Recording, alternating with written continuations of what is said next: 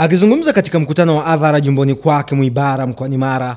Waziri Rugora amesema kutokana na upungufu wa askari, serikali iliruhusu kuwepo na makampuni binafsi ya ulinzi kwa ajili ya kusaidia masuala ya ulinzi na usalama nchini, lakini baadhi ya makampuni hayo yanavunja sheria kwa kuajiri walinzi wasiokuwa na mafunzo yoyote, askari wastaafu ambao wamechoka na hawawezi kufanya kazi hizo, huku wakilipwa mishahara midogo na wengine kutokulipwa kabisa. Baadhi ya makampuni tunashuhudia wananchi, makampuni baadhi yanaendelea kuajiri askari ambao wamechoka,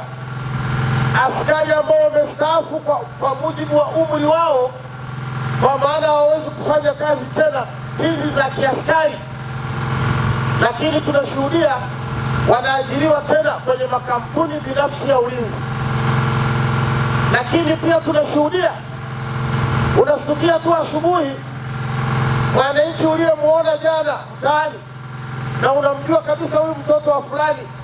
hana mafunzo yoyote ya askari wa akiba, hana mafunzo yoyote ya jeshi la kujenga taifa,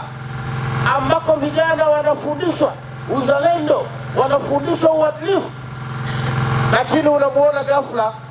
amebeba bunduki, amevaa sare za kampuni ya ulinzi,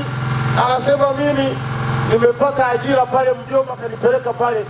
au ana kirungu naye tayari ni askari kwenye kampuni binafsi. Rugora amesema kutokana na changamoto hiyo, serikali inakaribia kukamilisha kuwepo na sheria ya makampuni ya ulinzi ambayo itasimamia vizuri makampuni yote nchini, na sheria hiyo inalenga kudhibiti masuala ya ajira kwa askari hao.